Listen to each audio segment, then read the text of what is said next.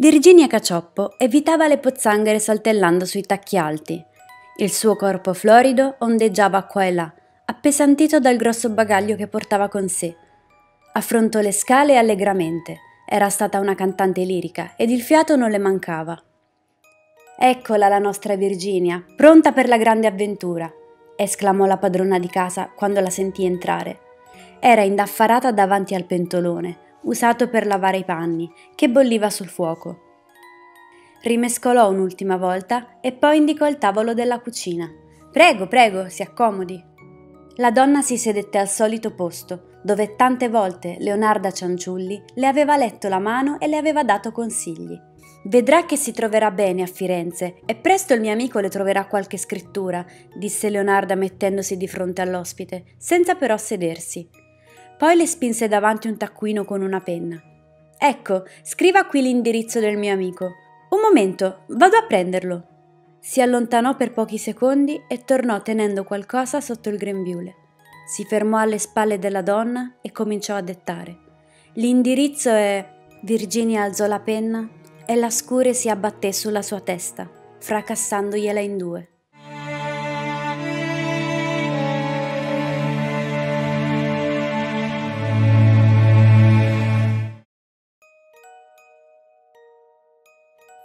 Leonarda Cianciulli, detta Nardina, ma nota ai più come la saponificatrice di Correggio, era nata a Montella in provincia di Avellino nel 1893.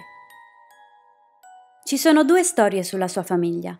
La prima racconta che sua madre era stata rapita ed abusata da un uomo che poi ha dovuto, costretta dai genitori, sposare, poiché è rimasta incinta, e che quindi Leonarda era il frutto di uno stupro, mentre l'altra la vede nascere ultima figlia in una famiglia parecchio numerosa.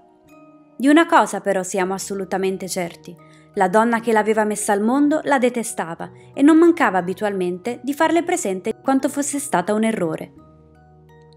Leonarda, sempre messa in disparte, disprezzata addirittura dai suoi fratelli, si era creata un mondo tutto suo, popolato da amici immaginari con cui era solita intrattenere conversazioni. Durante la crescita soffrì di solitudine, accompagnata da attacchi epilettici ed incubi spaventosi. Provò ad uccidersi diverse volte, ma ogni tentativo di suicidio risultò fallimentare. Ero una bambina infelice e desideravo morire. Cercai due volte di impiccarmi. Una volta arrivarono in tempo a salvarmi e l'altra si spezzò la fune. La mamma mi fece capire che le dispiaceva rivedermi viva. Una volta ingoiai due stecche del suo busto, sempre con l'intenzione di morire, e mangiai due cocci di vetro, ma non accadde nulla. Quando cominciò la scuola, potei finalmente socializzare. Diventò l'amica con cui tutti volevano parlare. Le piaceva raccontare dei rapporti sessuali che tante volte aveva con i ragazzi molto più grandi di lei. La compagnia maschile era per me un passatempo. Saltavo di qua e di là senza pensarci troppo a lungo. Non ero bella, il mio aspetto fisico aveva bisogno di un contraccolpo e ogni maschio che mi desiderava era un modo come un altro per non sentirmi brutta. Dopo diverse relazioni incontrò l'uomo che poi diventò suo marito, Raffaele Pansardi. La madre, contraria a questa unione, l'aveva già promessa ad un suo cugino, ma Leonarda non volle sentire ragioni. La donna, che già mal tollerava sua figlia, non solo non si presentò al matrimonio, ma la maledisse fino all'ultimo dei suoi giorni. Leonarda, rimasta molto impressionata poiché credeva nella magia, cominciò a sognarla. Sua madre, ormai protagonista dei suoi incubi, continuava a disdegnarla e maledirla. L'ira di Dio che non voleva avere pietà di me, mi era stato detto e predetto in due occasioni. Mia madre, in punto di morte, mi augurò una vita piena di sofferenze e una zingara, guardandomi dritta negli occhi, pronunciò senza esitare queste parole. Ti mariterai, avrai figliolanza, ma tutti moriranno i figli tuoi. Durante il matrimonio provò ad avere figli, e per ben 13 volte i bambini morirono tutti. Ebbe tre aborti spontanei e 10 neonati morti durante i primi mesi di vita. L'influenza spagnola, in quegli anni, uccise decine di migliaia di persone in tutto il mondo, ma lei si convinse che la colpa fosse di sua madre e delle sue maledizioni atroci, proprio perché prima di ogni tragico evento quest'ultima le appariva in sogno. Leonarda era disperata, consultò maghe e fattucchiere di ogni tipo pur di liberarsi dalla maledizione e per ben quattro volte riuscì ad avere figli, Giuseppe, Bernardo, Biagio e Norma. L'ultima arrivata però cominciò ad avere problemi di salute, così per guarirla si strappò otto denti gettandoli nella stufa. Il rito fece effetto e la bambina guarì. Nel suo paese non era vista di buon occhio, compiva piccoli furti e truffe, come quella volta in cui fece credere ad una famiglia che il loro figlio morto in guerra fosse ancora vivo e prigioniero e che necessitava di soldi che lei avrebbe potuto fargli avere. I genitori del ragazzo non ci credettero e la denunciarono. Leonarda fu condannata a quattro anni di prigione, che non scontò mai a causa di un'amnistia. Nel 1930 in Irpinia ci fu un disastroso terremoto che rase al suolo diverse abitazioni, tra cui quella di Leonarda. La famiglia fu così costretta a trasferirsi a Correggio. La casa in cui vivevano era fatiscente, riuscirono ad andare avanti grazie alla generosità dei vicini, che spesso aiutavano regalando vestiti e mobili. Il marito trascorreva le giornate in osteria a bere, mentendo alla moglie. Così lei si rimboccò le maniche, facendo i lavori più disparati. Era mediatrice, commerciante di abiti usati e sfruttò tutti gli insegnamenti che aveva ricevuto dalle maghe e fattucchiere che aveva conosciuto, cominciando a sua volta a leggere la mano, predire il futuro, scongiurare malocchi e fare fatture. Nonostante questo, Leonarda era considerata una persona affidabile e benevola, il perfetto ritratto di una madre fascista. La regina del focolare si occupava con diligenza dei figli e del vicinato, preparava sempre torte e dolci che offriva a tutti, invitandoli per il tè. La sua clientela cominciò a crescere ed erano sempre più le donne che si rivolgevano a lei, che con grande simpatia ed allegria riusciva a conquistare la fiducia di tutti. In poco tempo, casa sua diventò un ritrovo di donne di ogni tipo e di ogni estrazione sociale, in cerca di un consiglio, un aiuto o una pozione. Finalmente aveva abbastanza soldi per prendersi cura dei suoi adorati figlioli, in particolare Giuseppe, il suo preferito, il primo ad essere scampato alle maledizioni della madre. Il ragazzo, nel 1939, si iscrisse all'università ed in seguito sua madre gli trovò un impiego, mentre gli altri figli frequentavano le scuole. Tutto andava bene, a parte suo marito, che tornava ogni giorno a casa ubriaco e senza un lavoro, finché una sera, dopo una discussione, l'uomo sbatté la porta e senza mai voltarsi indietro sparì dalla vita della donna senza farvi più ritorno. Senza suo marito, con la fama che cresceva e con gli affari che le fruttavano diversi guadagni, ebbe la possibilità di trasferirsi in una nuova casa, esattamente in via Cavour 11A, assumendo addirittura una domestica. C'è chi disse che lo avevo gettato nel pentolone, ma non avrei mai avuto motivo per farlo. Ha preso le sue cose ed è sparito di scena. Non ricordo di aver provato nostalgia. Erano anni che mio marito non lavorava. Usciva di mattina e tornava la sera. Passava le sue giornate a bere e, chissà, magari a farsi trastullare da qualcun'altra. Mi innamorai di nuovo ed ebbi una relazione con Abelardo Spinelli. C'era forse qualcosa di male? Dove sta scritto che una donna si nutre solo di lavoro e famiglia? Certe convinzioni le lasciai a quelle che venivano a farsi leggere il futuro. Inaspettatamente, come un fulmine a ciel sereno in un lungo periodo di calma piatta, una notte Leonarda ebbe di nuovo un incubo. Sua madre era tornata più minacciosa di prima, pronta ad augurarle il peggio. Presa dal panico più totale, credette che il suo prediletto, Giuseppe, fosse in pericolo. Avrebbe potuto avere una malattia? O forse essere chiamato in guerra in quanto idoneo alla leva? Leonarda non lo avrebbe mai permesso. Suo figlio era la cosa più importante per lei.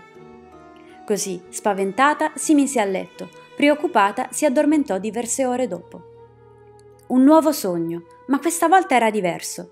C'era la Madonna con un bambino nero tra le braccia e le diceva che l'unico modo per salvare i suoi figli sarebbe stato sacrificare altre persone al loro posto. Una volta sveglia, Leonarda cominciò ad elaborare il suo piano Avrebbe dovuto trovare delle persone da sacrificare per il bene dei suoi figli. Ma chi? Non potevo sopportare la perdita di un altro figlio. Quasi ogni notte sognavo le piccole bare bianche inghiottite una dopo l'altra dalla terra nera. Per questo ho studiato magia, ho letto i libri che parlano di chiromanzia, astronomia, scongiuri, fatture e spiritismo. Volevo apprendere tutto sui sortilegi per riuscire a neutralizzarli. Le vennero in mente le sue clienti, quelle più disperate, le più anziane, quelle che avrebbero potuto credere alle sue parole qualora avesse inventato frottole. Scelsi tre donne che mi erano molto affezionate e che in comune avevano una cosa, non c'era più senso reale che giustificasse la loro esistenza.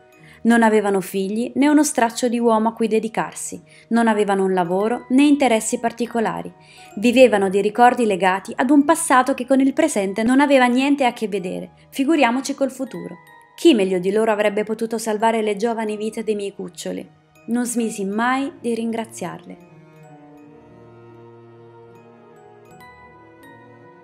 Faustina Setti, una donna che sperava di incontrare il principe azzurro, nonostante la veneranda età di 70 anni, si recò da Leonarda per farsi leggere la mano, chiedendole se nel suo futuro ci fosse un uomo. Il piano era già in atto. Le disse di conoscere un uomo benestante di Pola che si sarebbe potuto prendere cura di lei. La donna, che aveva perso da poco il figlio e viveva nella più totale solitudine, ne fu entusiasta ed accettò.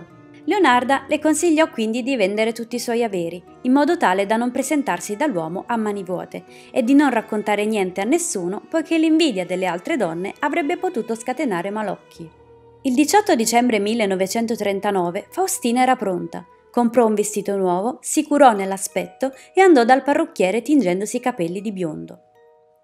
Passò così da Leonarda, intenta in quel momento a fare il sapone con ossa di maiale, in acqua e soda caustica. Congedò la domestica e rimase da sola con Faustina, esortandola a scrivere una cartolina di saluti per la famiglia di conoscenti, che avrebbe poi spedito da Pola. Era quello il momento giusto. Mentre Faustina rileggeva il testo della cartolina ad alta voce, Leonarda si avvicinò mettendosi alle sue spalle, in modo tale che non la potesse vedere, e con un colpo deciso di martello le spaccò la testa in due. Prese il corpo e lo tagliò in tanti pezzi, nove per l'esattezza, aiutandosi con i coltelli e con la sega. I pezzi più grandi finirono nel pentolone in cui stava facendo il sapone con la soda caustica ed una parte venne gettata un po' nel fiume, un po' nel pozzo nero, mentre il sangue, raccolto in un catino, venne fatto seccare. Poco dopo lo avrebbe unito a farina, zucchero e cioccolato per farne dei dolci. Alcuni dicono da servire alle sue clienti, mentre per altri venne fatto mangiare ai suoi figli come rituale per renderli immortali.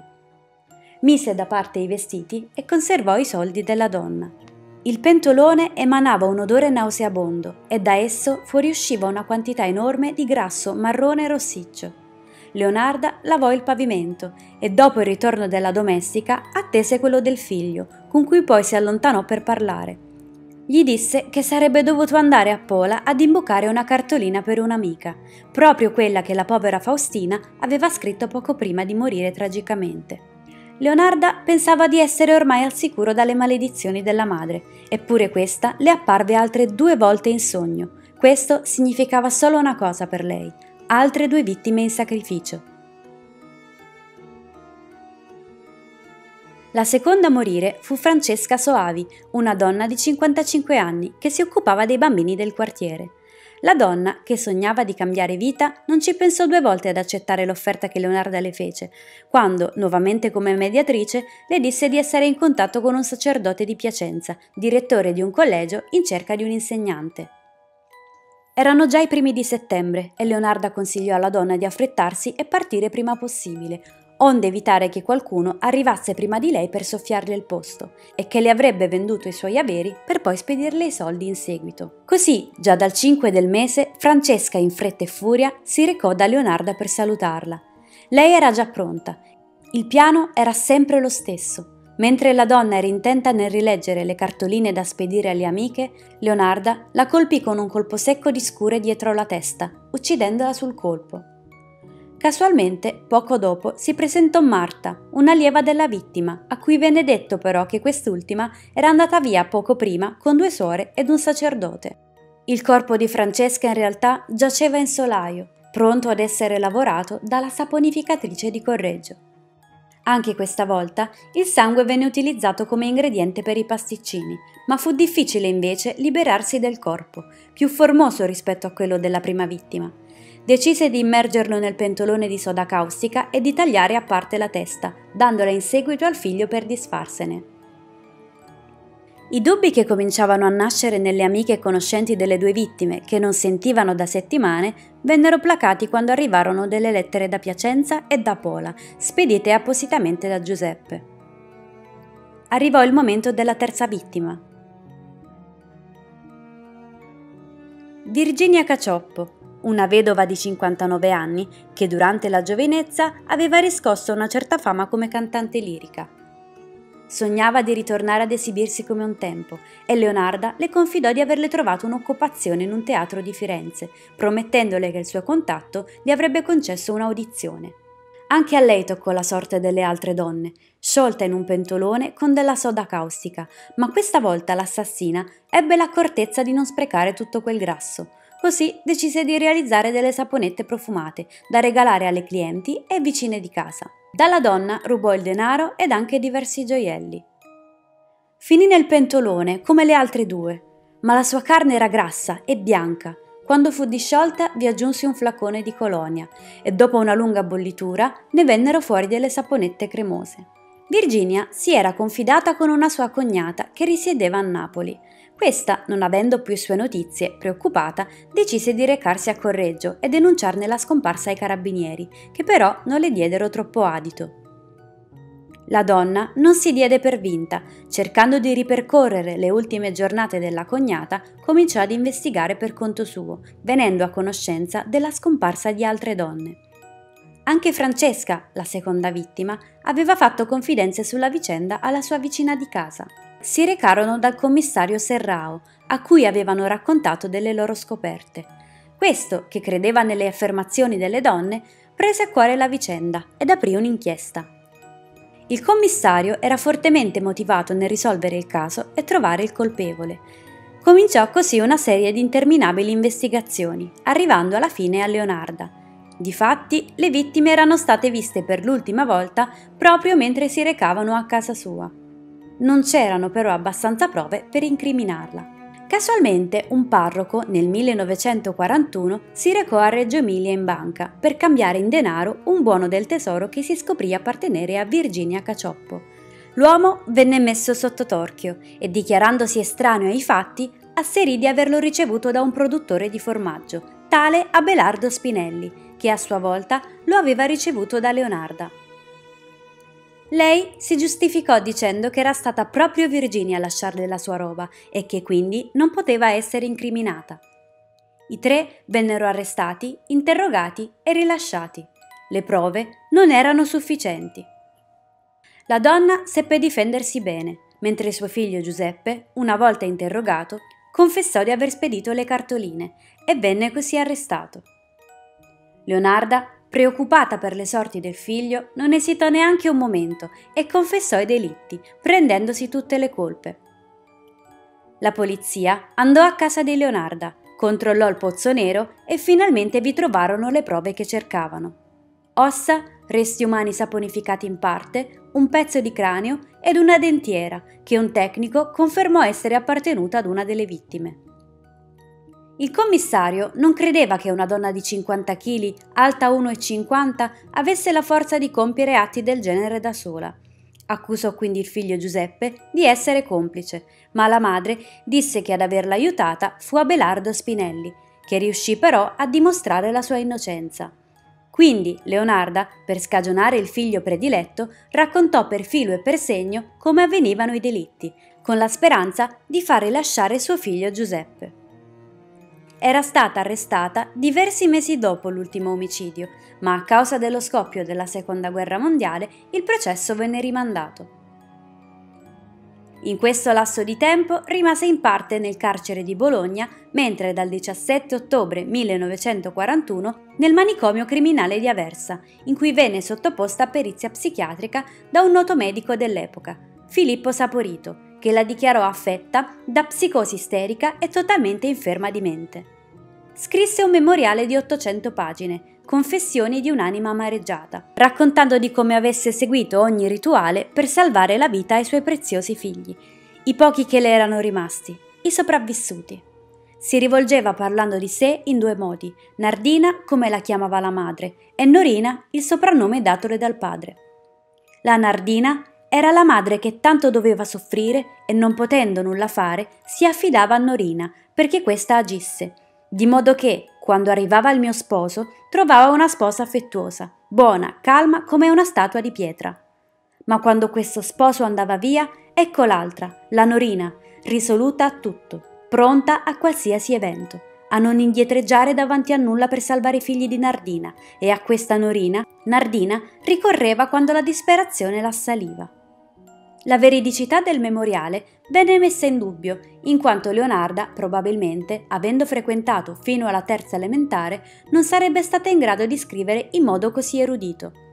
Perciò alcuni pensarono che si trattasse di una trovata degli avvocati per fomentare l'idea della pazzia e quindi favorirne l'infermità mentale.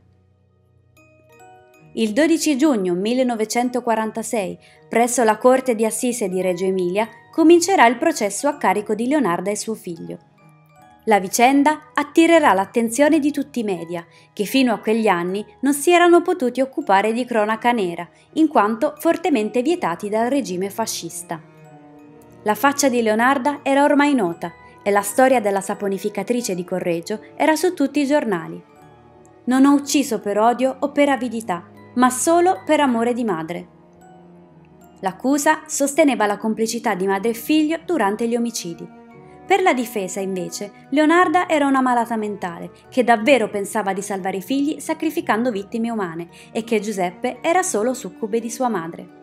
Rabbiosa, non poteva tollerare che qualcosa succedesse al figlio, continuava ad insistere con fermezza di essere stata lei sola a commettere gli omicidi il medico legale dimostrò quanto fosse difficile per una donna liberarsi di un corpo nel modo in cui descriveva Leonarda e che inoltre, per saponificare, ci volevano delle conoscenze specifiche che lei aveva dimostrato di non avere, quindi, probabilmente, i resti delle donne erano ancora in giro da qualche parte.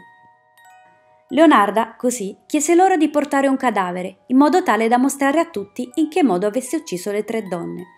La leggenda dice che fu portata in obitorio davanti al cadavere di un vagabondo morto per strada, che avrebbe poi smembrato con estrema freddezza e lucidità in 12 minuti. Ebbene, me le ho mangiate le mie amiche. Se vuole essere mangiato anche lei, son pronta a divorarlo. Le scomparse me le avevo mangiate una in arrosto, una a stufato, una bollita. Alla fine del processo la difesa dimostrò la seminfermità mentale e Leonarda venne condannata a 30 anni di reclusione per triplice omicidio premeditato, continuato ed aggravato, per le rapine e la distruzione dei cadaveri e a tre anni di manicomio. Suo figlio Giuseppe, grazie ad una commovente lettera della difesa, venne assolto per mancanza di prove, con enorme gioia di sua madre, che nel tribunale lo abbracciò Visitò spesso la madre, che difendeva ancora, definendo il suo uno stato di follia, asserendo che anche sua nonna e la sua bisnonna erano morte in manicomio. Leonarda trascorse 24 anni in carcere, i primi anni in quello di Aversa, poi in quello di Pozzuoli. Il martello, il seghetto, il coltello da cucina, le scuri, la mannaia e il treppiede gli strumenti di morte usati dalla Cianciulli sono conservati nel Museo Criminologico di Roma. Qui nel manicomio giudiziario di Aversa, il più antico e famoso d'Italia, vivono uomini e donne che la società giudica doppiamente pericolosi, perché delinquenti e perché folli. Vittima della superstizione, spinta da un morboso ed aberrante amore materno, Leonarda Cianciulli ha ucciso. Credeva così di placare gli spiriti maligni che dovevano, secondo la profezia di una fattucchiera, ucciderle i figli. La legge mi ha condannato. E che mi importa della sua condanna? 30 anni l'ergastolo, la fucilazione. Ma che mi interessa a me? 17 figli. Ah, cari miei, se anche a voi moriranno 13 figli, non solo faresti ciò che ho fatto io. Una, so una madre solo può comprendermi, la legge mai. Forse la scienza mi ha compreso. I suoi modi di fare, la sua allegria, empatia e disponibilità le permisero di stringere amicizia anche al manicomio. Preparava dolci per tutte, ma che nessuna si azzardava mai a mangiare. Si credeva avessero all'interno sostanze magiche. Diceva alle compagne che sarebbe stata di nuovo libera nel 1970 e difatti il 15 ottobre 1970 esalò l'ultimo respiro morendo a 78 anni. Leonarda Cianciulli, un'anima in pena che avrebbe fatto di tutto pur di salvare i figli, oppure una truffatrice avida e senza scrupoli? Dimmi cosa ne pensi nei commenti. Se il video ti è piaciuto e vuoi ascoltare altre storie, iscriviti al canale.